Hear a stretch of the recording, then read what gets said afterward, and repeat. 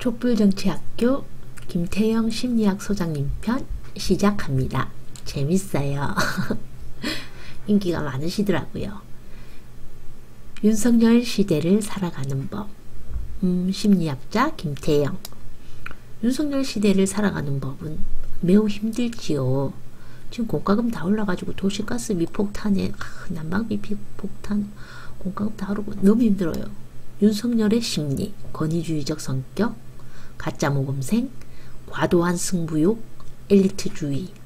와, 총체적으로 다 나쁘네요. 윤석열의 심리는. 에휴, 첫째로 권위주의적 성격을 따지면 권위주의적 성격이란 무력감으로 인해 힘을 맹렬히 추구하고 약각의 심리래요. 그는 왜 권위주의적 성격이 되었을까요? 고모수로 얻어맞아 쳐맞아가면서 권위주의적 아버지한테 그런 성격을 물려받았나 봐요. 권위주의적 성격과 대권, 포갑 정치를 하고요. 아나무인 성격이 되고요. 패밀리 정치를 하고요. 힘을 쫓는 외교, 대북 적대 정책을 펼친대요. 두 번째 가짜 모범생은요. 가짜 모범생이란 처벌 공포 때문에 생긴 거래요. 지가 권위적 부친한테 고모스 쳐맞은 게 아팠다면 남에게 그런 식의 포갑 폭력질을 안 해야 정상 아닌가요?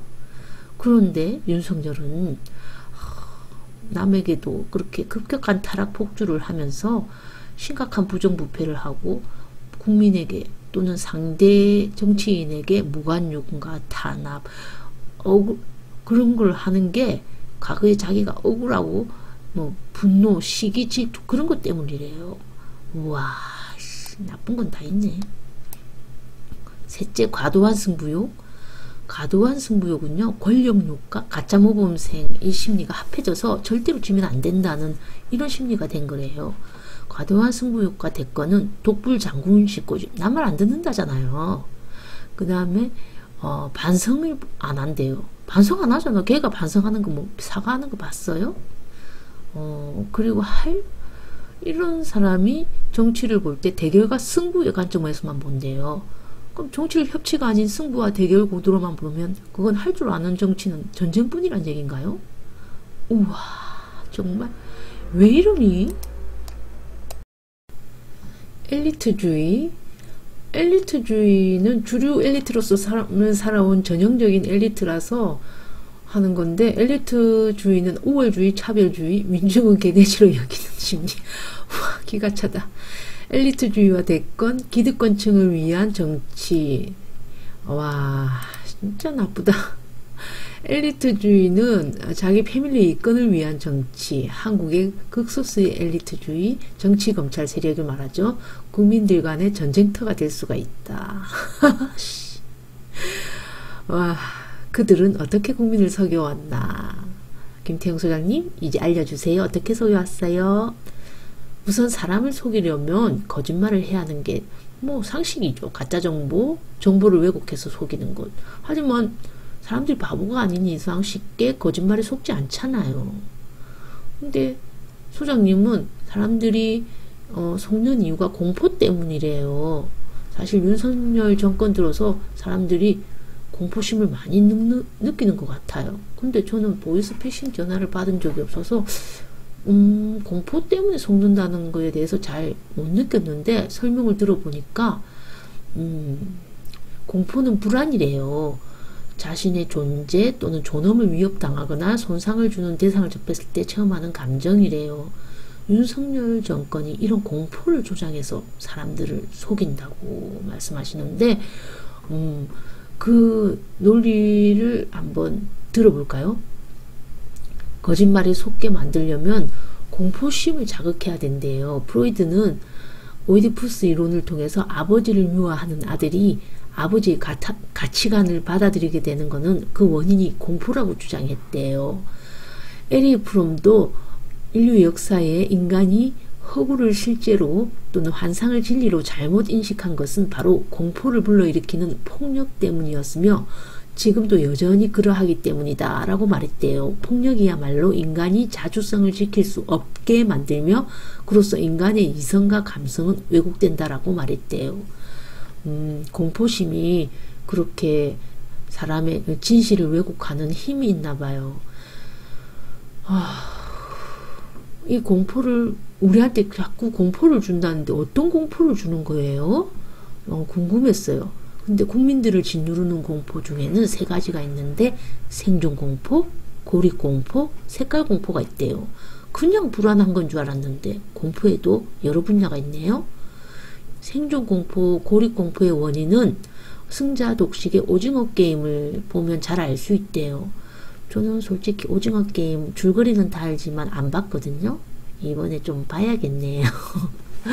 정말 설명 듣고 나니까 오징어 게임이 정말로 어, 이런 함축적인 의미가 있었나? 사회 제도의 변화에 따른 오징어 게임, 무궁화 꽃이 피었습니다. 뽑기 게임, 줄다리기 게임, 구슬치기 게임에 이런 의미가 있었나? 인간관계 변화의 의미가 있었나? 싶었어요. 그러니까 우리 사회가 이렇게 80년대, 90년대, 뭐 2000년대 변함에 따라 오징어 게임이 비유하는 거예요. 인간관계가 어, 연대 관계에서 어, 집단 경쟁 관계에서 개인 간 경쟁 관계로 변하는 거. 그리고 그 개인의 집단 공포심에서 개인 간 공포심으로 변하는 그 사회를 오징어 게임이 표현했대요.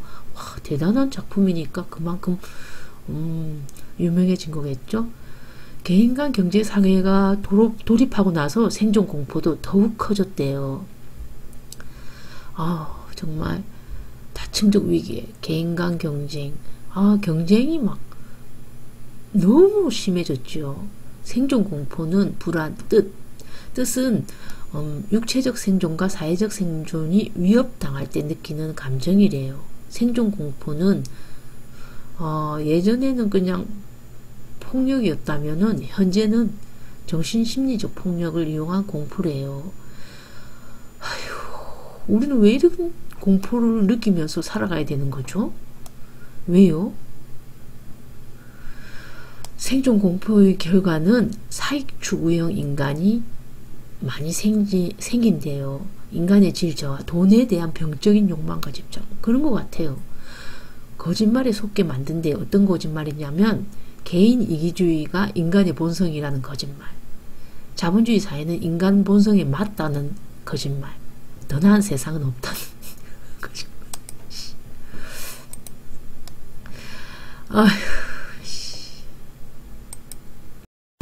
이제 고립공포를 보면요. 고립공포는 홀로 고립됨으로써 사회적 생명 혹은 인간의 존엄성이 위협당할 때 체험하는 감정이래요. 존중 불안 같은 것도 고립공포의 일종인데요. 무시당할지 모른다는 불안이래요. 어, 저는 고립공포는 에베레스트 산 동굴에 갇힌 사람만 가지는 그런 감정인 줄 알았거든요.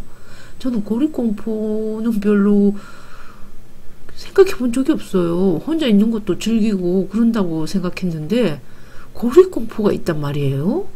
대체 어떤 때 고립공포를 느끼는 거예요? 어, 혼자 있는데 왜 존엄성이 홀로 고립되는데 존엄성이 위협당한다고 느끼죠? 어, 김태우 소장님 가르쳐 주세요. 왜요? 와, 정말 고립공포는 분할 통치의 끝판왕이래요. 그런가요? 지배자들의 전통적인 통치 방법 분할하여 통치하는 거래요.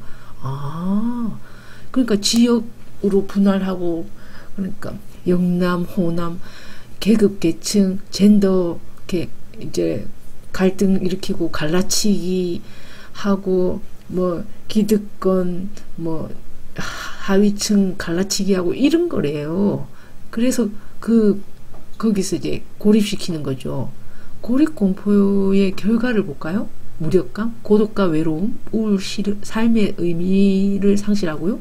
인간관계 악화하겠죠. 계급 간의 갈등이 일어나고 존중 불안이 일어나고 돈에 대한 병적인 그래서 더 높은 계층을 올라가기 위해서 돈에 대한 병적인 욕망과 집착이 일어나고 거짓말에 속게 만든대요. 특히 어떤 거짓말? 인간은 원래 혼자 사는 존재다.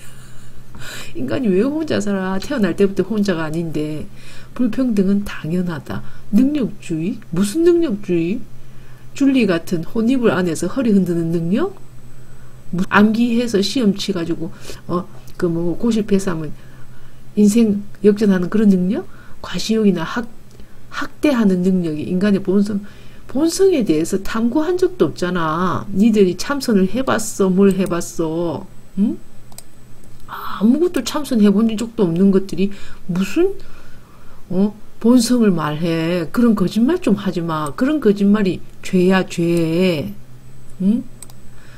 그 다음에 뭐 오늘날의 자본주의 사회가 인간 본성에 맞는 사회다 자, 이 경쟁 사회 개인 간 경쟁을 극심하게 만드는 이 사회가 인간 본성 니들이 본성을 알아? 아무것도 뭐 참선해 본 적도 없는 것들이 무슨 그런 거짓말을 씹으리고 앉아 있어. 그리고 뭐 또 무슨 거짓말 또 해봐. 더 나은 세상은 불가능하다? 왜 불가능한데? 왜? 개척하면 가능하지. 항상 나은 세상으로 발전해 왔는데 왜 불가능해 그게? 어? 거짓말 좀 그만해. 그래서 학대 도미노가 일어난대요.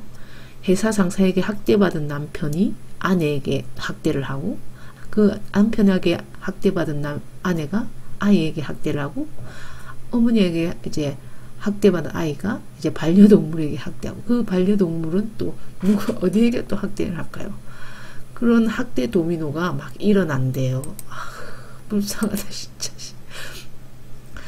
그리고 이렇게 무시의 도미노가 일어나는 거죠. 이게 학대 도미노예요.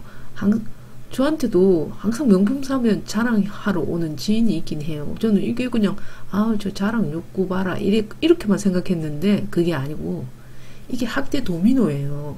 자기 과시욕, 자기 과시욕은 상대 무시 욕구와 상통한다는 거. 와, 그랬군요. 너무해. 색깔 공포증은요, 빨갱이로 몰리는 것에 대한 공포래요. 색깔 공포 70년대예요? 솔직히 저한테도 좌파 빨갱이라면서 악플 남기는 것들이 꽤 있거든요. 제가 다 지우고 있지만, 좌파 빨갱이 70년대냐? 와, 나는 이런 악플 남기는 것들이 할배들인 줄 알았거든요. 근데 20대, 30대도 있어요. 아니, 얘들은 왜 빨갱이라는 걸 알아요? 얘들이? 어, 나는 어, 할배들이 그러는 건 이해하겠는데 어느 정도 왜 20대 30대까지 그래요? 그 이유를 김태형 소장님이 잘 알려주셔요. 색깔 공포증이 어, 나이 많은 세대들은 죽음의 공포에 육박하는데 젊은 세대들에게는 생존 공포네요. 낙인 찍히면 밥 먹고 살기 힘들어진다. 결국 경제네요, 경제. 경제 불안. 와, 색깔 공포. 경제 불안을 조장해가지고 젊은 세대들에게 이 빨갱이라는 게 욕이 되는군요. 너는 가난해진다. 빨갱이로 찍히면. 아, 그래서 빨갱이가 젊은 세대에게도 욕이 되는군요. 음, 색깔 공포증이 왜 생겨났나 하니까, 음, 정말로 참 어이가 없다. 어이가 없어. 아니, 이 시대에 아직까지 그 사상 검증을 해야 됩니까? 색깔 공포증은 지배층의 가장 강력한 무기래요. 사상의 자유를 금지하는 중세 시대 때는 저 기독교에 반대되면 이단이라고 마녀라고 하고 뭐 파쇼 국가에서는 사회주의자라고 하고 한국에서는 저그 정치하고 반대되면 빨갱이 윤석열 비판하면 종북이라고 하고 빨갱이 좌파락 하고 뭐 박근혜 비판하면 빨갱이라고 하고 한국 지배층의 유일한 생존 수단이 어, 무조건 프레임 씌우는 거 빨갱이로 프레임. 지금도 그 국보법을 국가보안법인가? 그거 다시 막 해갖고 막 강력하게 해가지고 빨갱이 만들려고 하잖아요. 미쳤나봐 정말. 색깔 공포의 결과 자기 검열의 검열과 억압 아 빨갱이 안 되기 위해서 굴종 비겁하게 회피하고 현실 회피하면서 자기 검열을 하는 거죠. 자본주의 비판에 대한 자본주의 비판하면 좌파 종북인이 막 비판하니까 거짓말에 속게 만든다. 어떤 거짓말? 미국에 대한 찬양과 숭배를 하는 거죠. 미국 그 다음에 극우 이데올로기를 수용한 극우 위에 그냥 보수 이데올로기가 아니라 극우 이데올로기. 아, 정말 색깔 공포증 좀 그만해라 그만해 이런 거 지금 어느 시대인데 21세기 아니요? 21세기에 무슨 사상 검열을 해. 아, 사회주의에 대한 맹목적 반감. 사회주의를 왜 맹목적 막 복지 정책도 사회주의를 일부 수용한 거잖아요. 우리가 복지 정책을 하는 것도 북을 악마화, 북보다 북한보다 더 그 권위주의 쪽이고 어, 독재 정치인 나라와도 우리는 지금 외교를 하고 있잖아요. 그러니까 북한도 그런 외교를 할 수 있는 국가로 봐야지 무조건 악마하고 그럴 필요는 없다고 봐요. 국이 그의 수단에서 볼 때 한심하다 한심해. 그들은 무엇을 속여왔나요? 어, 한국에 한국은 자유로운 나라라고 자유 아, 윤석열 좋아하는 말인데 솔직히 한국은 자유가 없대요 사상의 자유가 왜냐하면 국가보안법이 있는 유일한 그 민주주의 국가라나요? 돈이 없는 자유는 거짓 거짓이라고 와 윤석열 말 자꾸 생각난다 가, 자유를 모른다 가난한 자는 에레이씨 재정이 없어서 문제를 해결할 돈이 없어서 문제 해결할 수 없다? 그럼 50조는 레고 50조를 레고랜드 50조는 그 50조 있으면은 대학생들 250만 명한테 천, 이, 이, 2천만 원씩 줄 수 있나? 2천만 원씩 대학생들 250만 명한테 지급할 수 있어. 레고랜드 김진태 강원도 레고랜드 김진태 어, 그 돈 어디서 났어? 자본주의는 영웅불멸한 이상적 이상적 세계인데 왜 이렇게 자살률 높아? 자본주의가 무슨 이상적 세계야? 영웅불멸한 이상적 세계야? 한계가 지금 부딪히고 있는데 그럼 다른 더 좋은 세상을 우리가 알아봐야지 인간에 대한 증오와 혐오가 생긴다. 인간이 악마래요. 뭐 인간이 악마야? 악마는 따로 있지. 윤석열 같은 인간이 악마지. 응? 천사 같은 인간들이 얼마나 많은데 봉사하고 그들의 거짓말에 속지 않으려면 그 방법이 음, 해방되면 각 생존 공포로부터 해방되면 각자 도생에서 집단적 해결이 되는 거고요. 기본 소득을 하면 어, 생존 공포로서 조금 해방되는데 도, 도움이 많이 될 것 같아요. 고립 공포로부터 해방되는 데는 연대와 공동체 보건되면 혼자라는 느낌에서 많이 해방이 되겠죠. 그 다음에 평등 수준의 재고를 통한 전 사회적 차원의 인간관계를 회복할 수 있겠죠. 음, 공동체 복원. 색깔 공포로부터의 해방은 일단 국가보안법을 철폐하는 게 중요하다고 봐요. 사상검증을 왜 법이 해? 음, 그렇겠네요. 무엇보다 중요한 건 이런 공포를 자극해서 사람들을 지배하려는 정치인을 뽑지 말아야 하는 게 가장 큰 해결 방법이라고 봅니다. 저는. 어떻게 내 사상 검증을 법이 하려고 해야지? 내 머릿속을 법이 검증한다고?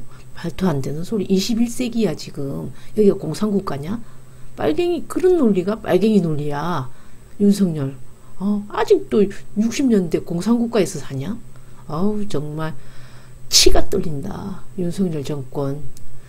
윤석열 같은 정치인을 뽑지 않는 게 세 가지 공포를 극복할 수 있는 첫 단계라고 볼 수가 있겠네요. 제1기 촛불정치학교 김태호 소장님의 그들은 어떻게 국민을 속여왔나 강의는 참 재미었었습니다. 편견이 많이 깨지는 그런 느낌을 받았고요. 참 부산까지 와주셔서 감사했습니다. 이번 촛불 정치학교에서 음, 박재동 화백님 서명 들어간 수료증도 받았고요. 기분이 참 좋았습니다. 유익한 강의였다고 봅니다. 음, 그리고 촛불 시민들과 함께여서 더 기분이 좋았어요. 촛불 정치학교에서 만난 시민들뿐만 아니라 다른 전국의 모든 촛불 시민분들 거짓된 공포는 이겨내고 더 나은 세상을 향해 힘을 냅시다. 화이팅! 화이팅! 화이팅! 이상 젠파란이었습니다. 다음에 봐요. 또.